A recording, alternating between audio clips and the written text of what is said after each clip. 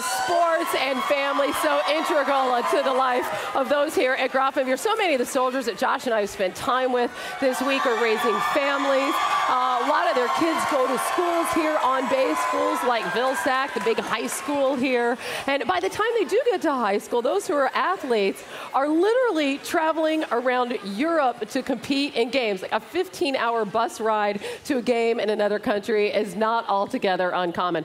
Great experience for young people here, to be sure. There are also some challenges, uh, things like getting the word out back home about talented players uh, to recruiters back in the States. So here's Josh with the story of a very special West Point graduate who is doing that and so much more for young American athletes right here in Germany.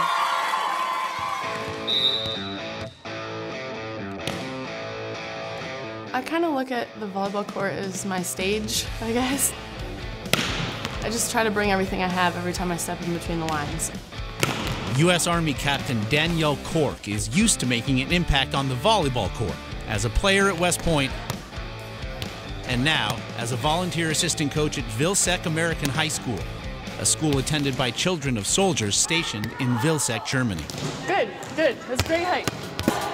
Use your legs when you're passing. When you set that ball to me, make sure you're low. I really enjoy working with the girls, and they're just, they're like little sponges. They're so excited to learn everything. I don't know, I, I just love it. Along with individual coaching, Cork also helps players improve their recruiting profiles for college coaches back in the States. Nice. I remember going through that and how difficult and scary, I guess it was. So anything that they need, I'm definitely more than more than able to help them. Yeah, you see where the ball's going? It's not going high enough for your setter to set it.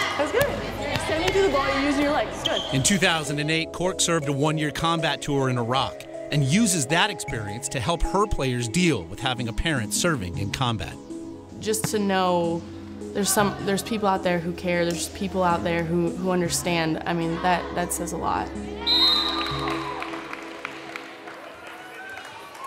We're happy to have Captain Cork with us today. That's her in uniform holding the Hooah sign. That's the big Army cheer and three cheers and more for her charges at Vilseck High School. They won the Department of Defense Dependent Schools European Championship in volleyball.